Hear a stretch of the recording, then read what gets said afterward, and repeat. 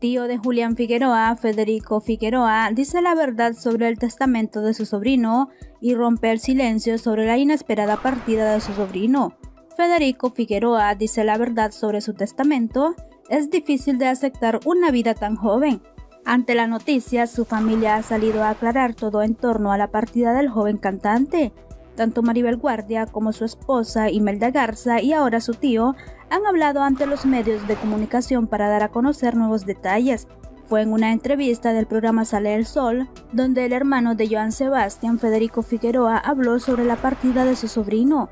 De igual manera reveló detalles sobre si el joven músico había dejado un testamento justo antes de haber perdido la vida a sus 28 años de edad. A través del programa matutino Sale el Sol, Federico, tío de Julián Figueroa y quien fue uno de los que encontró al hijo de Maribel Guardia, rompió el silencio. Es difícil de aceptar una vida tan joven, un muchacho, un ser querido por toda la familia. Si le preguntas a todos los hermanos primos te dirán que era un muchacho sumamente cariñoso, se ganaba el cariño de la gente, fue alguien noble. De igual manera mencionó que la familia no se encuentra dividida y que siempre permanecerán unidos apoyándose todos por igual.